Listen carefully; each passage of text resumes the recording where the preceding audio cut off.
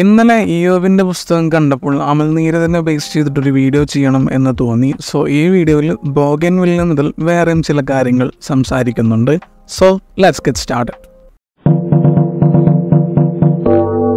ഒരു അമൽ നീരജ് സിനിമ വരുന്നു എന്നല്ലാതെ ബോഗൻ വില്ലയെ കുറിച്ചിട്ട് എനിക്ക് പ്രത്യേകിച്ച് പ്രതീക്ഷിക്കാൻ മാത്രം ഒന്നും ഉണ്ടായിരുന്നില്ല. പക്ഷെ സിനിമ കണ്ടപ്പോൾ ഒരു നല്ല വർക്കായിട്ട് തോന്നി. റൂട്ടീൻ ഫോർമാറ്റിലുള്ള സിനിമ ആയിരുന്നെങ്കിലും അത്യാവശ്യം കണ്ടിരിക്കാവുന്ന സംഭവങ്ങളൊക്കെ ഇതിന്റെ അകത്ത് ഉണ്ടായിരുന്നു. ജ്യോതിർമയ് ചാക്കോച്ചൻ എന്നിവരുടെ പെർഫോമൻസ് സിനിമ അത്യാവശ്യം ഡ്രൈവ് ചെയ്ത് കൊണ്ടുപോയിട്ടുണ്ട്. പിന്നെ സിനിമാറ്റോഗ്രഫി എഡിറ്റിംഗ് മ്യൂസിക് പോലെയുള്ള സംഭവങ്ങൾ സിനിമയെ നീറ്റാക്കിയിട്ടും നിർത്തിയിട്ടുണ്ട്. പോരാത്തതിന് ഫൈനൽ ആക്ടിൽ നല്ല ഇമ്പാക്റ്റും എനിക്ക് തോന്നിയിട്ടുണ്ട്.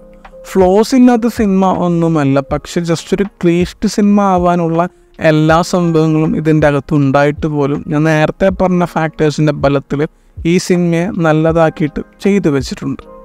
അമൽനീരത് എന്നെ സംബന്ധിച്ചിടത്തോളം നല്ലൊരു ഫിലിം മേക്കറാണ് കാരണം ഡയറക്ഷൻ ചെയ്തുള്ള ഏത് ഡെക്കേഡിലാണെങ്കിലും അപ്പോഴെല്ലാം ഫിലിം മേക്കിങ്ങിന്റെ കാര്യത്തിൽ ഡിഫറെന്റ് ആണെന്നാണ് അമൽ നീരദിനെ കുറിച്ചിട്ട് എനിക്ക് തോന്നിയിട്ടുള്ളത്.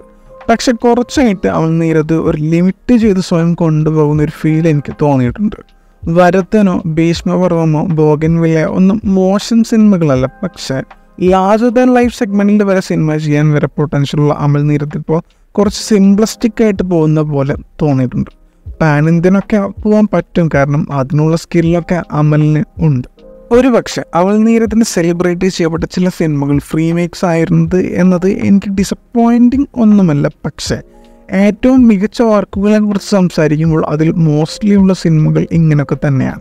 അതിലൊരു എക്സെപ്ഷൻ ഇയോബിന്റെ പുസ്തകമാണ്. പക്ഷെ ഗോഡ് ഫാദർ ഇൻഫ്ലുവൻസ് ഒക്കെ ഓക്കെയാണ് അതിപ്പോൾ ഉദ്ദേശിച്ചാലും ഇല്ലെങ്കിലും ഒരു ഗാങ്സ്റ്റർ ഫാമിലിയുടെ കഥ പറയുമ്പോൾ ഗോഡ് ഫാദർ ഇൻഫ്ലുവൻസ് എങ്ങനെ നോക്കിയാലും വരും. കാരണം ഗോഡ് ഫാദറിൽ ഒരു ഗാങ്സ്റ്റർ സിനിമയ്ക്ക് വേണ്ട എല്ലാ എലമെൻസും ഉണ്ട്.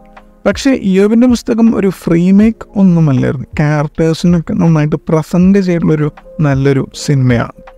അവൾ നീരതിന്റെ മെയിൻ പരിപാടി ഇത് തന്നെയാണ്. എല്ലാ സിനിമകളും ഇങ്ങനെയാണെന്ന് ഞാൻ പറയില്ല. പക്ഷേ ഒരു മെജോറിറ്റി സിനിമകളും അതിന്റെ എഴുത്തിന്റെ അപ്പുറത്തേക്ക് ഒരു പ്രത്യേകതരം സ്റ്റൈൽ ഭയങ്കരമായിട്ട് എടുത്തു നിൽക്കുന്ന പോലെ തോന്നിയിട്ടുണ്ട്. അമൽ നീരദിന്റെ ആദ്യ ഡക്കേറ്റിൽ ബിഗ് ബി സാഗർ റിലീസ് ആക്കി അൻവർ.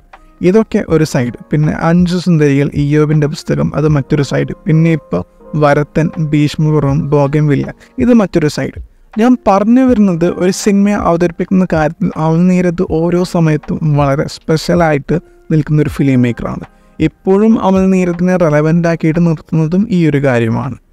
ഒരു ഗോഡ് ഫാദർ സ്റ്റൈലിൽ വന്ന അമൽനീരത്തിന്റെ രണ്ട് സിനിമകൾ എന്ന നിലയിൽ അമൽനീരത്ത് ബെറ്റർ ആയിട്ട് ചെയ്തൊരു സിനിമ എന്ന് എനിക്ക് തോന്നിയിട്ടുള്ളത് ഇയോബിന്റെ പുസ്തകമാണ്. ഭീഷ്മപർവം മോശമല്ല പക്ഷേ എനിക്കതൊരു ആവറേജ് സിനിമയായിട്ട് മാത്രമേ തോന്നിയിട്ടുള്ളൂ. ജസ്റ്റ് അമൽനീരത്തിന്റെ അവതരണവും ആ സ്റ്റൈലും കാരണം കണ്ടിരിക്കാം. പക്ഷേ ഇയോബിലെ കഥാപാത്രങ്ങളൊക്കെ ഒരു വെൽ റിട്ടൺ ഫോർമാറ്റിൽ വന്നിട്ടുണ്ട്.